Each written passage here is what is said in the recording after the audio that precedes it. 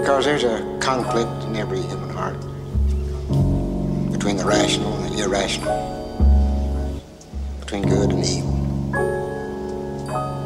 And good does not always triumph.